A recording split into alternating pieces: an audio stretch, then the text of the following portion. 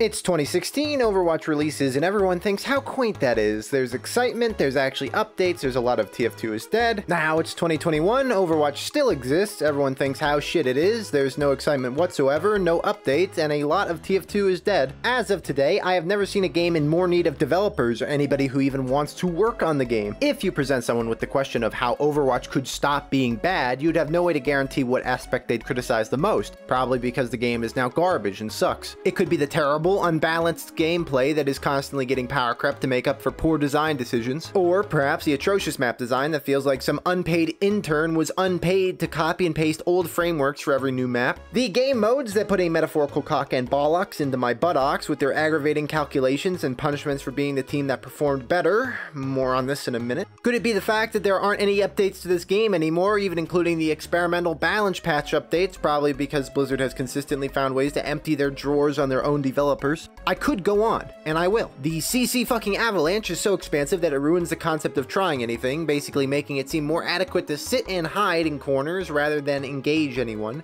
The travesty of the lore, which is never updated anyway, but when it is, it's constantly manipulated in boring, uninteresting, or annoying ways. In an almost poetic sense, the game is quite ass-centric. The sad part is that I actually still like Overwatch despite the copious pains in my balls the game contains. I have illustrated this before in my Overwatch Starting to Stink video, but I have since become more acquainted with ways in which to bitch. And this time I thought we could have a productive conversation about everything the game needs to stop stinking, which is a comprehensive list, but hey, I've got time to complain, why not? Firstly, I should clarify that I think Overwatch is the most recently good Blizzard creation. That's not counting re-releases, with only one of those being not shit anyway. Since then, I do not have fondness for their WoW expansions or their Hearthstone expansions and uh, their criminal expansions. When Overwatch launched, we all put up with the things we hated, hooks around walls, fan the hammer one-shotting tanks, horrendous competitive metas literally from the get-go. To describe the fall of Overwatch in better detail than you could get in a Google search, I have five points. I present you a grievance and offer solutions. I bitch, I complain, I offer something or an idea, and then I praise TF2. So yeah, big video game problem number one, Overwatch has terrible gameplay. This might be the hardest section to actually figure out on how to solve, and as such this will be the biggest section by far, because, uh, yeah, the, the list of Overwatch gameplay problems is so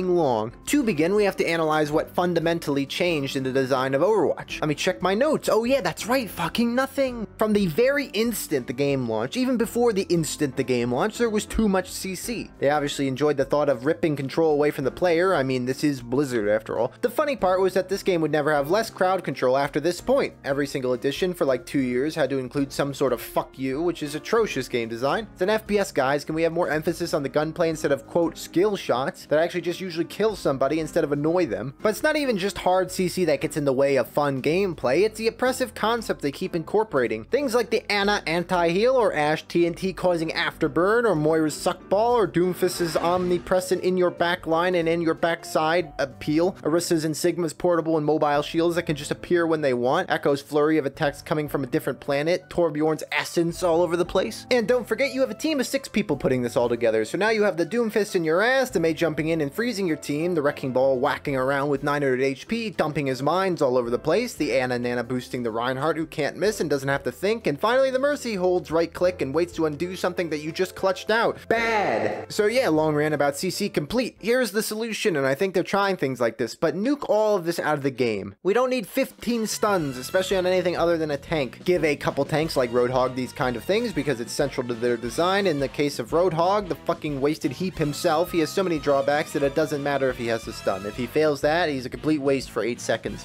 And speaking of 8 seconds, can we please across the board increase cooldowns? This game is moving so quickly that I can't believe anyone would spectate it with any interest, especially if they didn't know what was going on. Even without stuns, it's still a total mess with things constantly off cooldown. Even long cooldowns like Mercy Resurrect and Baptiste Better Resurrect are too short. It feels like you never really got rid of a threat, and if they use a cooldown, you have to go bananas trying to take advantage of that fact, and 9 times out of 10, that wasted cooldown isn't going to make a difference. Okay, so now Overwatch with these two changes has less CC and less cooldown cooldowns, so the game is a little slower. But yet another problem presents itself, of course, some characters are built to one-shot. I don't remember where, but some Overwatch developers said that they didn't want one-shots in the game, absolutely talking shit, lying bastard. Even when they said this, Widowmaker or Hanzo anybody? Now my personal solution is to literally remove the concept of snipers in this game and make everything a brawler since it becomes two team clumps fighting in a ball anyway, but let's just say that sniper is here to stay, which means I can't possibly suggest a total balance for this, but in general, we need longer times to kill. This game never lets up on you. You just seem to die sometimes, only avoidable if you completely hide or just wait for your other teammates to do something for you instead. This is especially bad when playing tank because you just take so much damage from minor engagements. To compensate that, the healing in Overwatch became so intense that now damage is irrelevant unless you flat out kill something, so in my opinion, tone everything back. And I have two good solutions for how this could be possible. Firstly, double the HP of everybody or half the damage they deal. Obviously not this dramatic across the board, but everyone shouldn't have to stress about the idea if they even engage they are going to die immediately. Or the more immediate solution is to add ammo to the game. With ammo and no adjustments to the damage or healing we currently have, maybe people couldn't just shoot fucking forever and never think maybe I should stop shooting forever. Plus, if healers had to get ammo too, maybe fights would involve a little more nuance where players would, you know, move around and do things instead of huddle behind two shields and attack without question or intelligence. But beyond the raw mechanics of the game, we face more problems than we can hope to fix in a timely manner, or with Blizzard being the ones in charge. The game modes in Overwatch are all really disinteresting. They are all stand here, which is fine, it just doesn't really matter. But the problem is that you don't earn anything for just playing the objective, because the real objective in Overwatch is to kill the enemy team, not push the payload or take any kind of presence on a point. Since you can't accomplish anything with the other team remotely near your objective, it's basically deathmatch with differing timers. Again, more non-nuance at all to how you tackle a point, doesn't matter if it's payload, king of the hill, or control points. Legitimately, one change could improve this game, and that's if Blizzard wanted to join the rest of the the gaming industry and use a sensible system for calculating who wins. Time Bank is the name, robbing wins is my game. I can't believe we still have this concept in quote competitive games. For the uninitiated, say Team 1 pushes the payload to the very end in 3 minutes, which is incredible. Then say Team 2 gets their chance to push the payload and then does it in 9 minutes, heavily abusing the fact that overtime was designed by Gibbons. So essentially Team 2 sucked way more, but both teams did succeed in the end. So usually I'd say that Team 1 should win outright since, you know, we don't want to have 30 round games. But not in Overwatch where the team that did better gets shit all in terms of benefits and has to keep kicking ass or lose the game. Team 1 has 5 minutes remaining and Team 2 has 0, so what's the bank of bullshit offer us today? Well, Team 2 gets a free 1 minute to push more payloads, and Team 1 gets an extra minute on top of what they already have. Don't worry, this keeps getting worse. Now, the team with less time gets to play offense first. This is such a huge advantage since they only have 1 minute, so the team will play a very all-in kind of playstyle, which can snowball if they get lucky and win one fight. This happens very often for how terrible it is. The worst team will push first with Bastion or some other random cheesy strategy, and you will lose the first defense. Since you lost first, you're now going to have an ultimate disadvantage, which will allow them to bulldoze you on the second point. Now, they are firmly into overtime, which means that your spawns get worse. It bears repeating that your spawn times are worse in overtime. This doesn't bear any weight to the attackers because they can't die anyway or the round's going to end. So if they steamroll you once, you can't stop them from pushing and you have to watch a long respawn timer as they push the payload in further and further. Reminder that you did this better than they did. This concept is maddening to me, not to mention the team that did much better does not get this advantage. You have six real minutes to push, whoop-de-doo. They never have longer respawns in the regular game time, so you have to kill them nearly twice as much to succeed, so 6 minutes isn't even good, it's in fact worse than having a minute.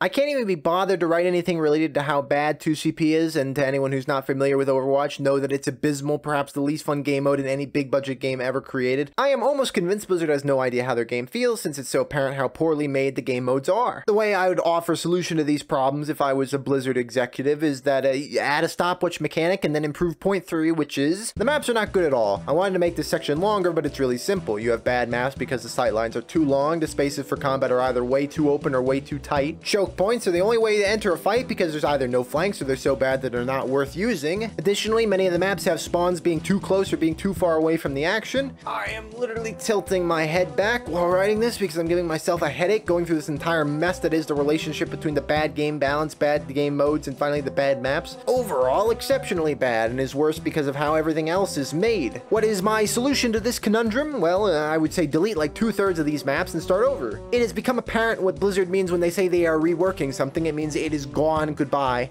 Here is a point that is perhaps unfair criticism, but they have bungled the lore in this game. A game that praises itself for having great diversity and letting all sorts of people have a voice is great at going completely radio silent and giving nobody a voice in any capacity. The most lore anyone gets is when they're released and afterwards you aren't going to see them again. Even when they open their mouths and have something to say, 9 times out of 10 it's not interesting or expanding. The Overwatch universe is comprised of various concepts or ideas, which would be fine if we got more than one update a year if we were lucky. The comics have never been good, but at least they were something. The shorts looked really good and were fun, but too bad those cost a lot of money. Bobby's small dick needs some more corners to cut. To fix the lore, they could benefit from giving a shit. They really took these good designs genuinely and just you know, left them out to rot. If anything is easy to praise in Overwatch, the characters do stand out, they look familiar and they are approachable, and you know, overall, well done on this. Then they must have realized their character write-ups are two-sentence descriptions of ideas and never got much farther than the planning stages. Annoying. Moving on to the final point, which I think is going to be easy to discuss since I feel like they are moving towards this idea in Overwatch 2 anyway, but there's nothing to do in this game. You have some bogus PvE modes that are no fun at all, you have some dumbass game modes that are stupid and offer nothing in return for your time, and then you have the arcade. Since this game is all built around the combat, and that happens to be bad and not interesting, what else is there to do?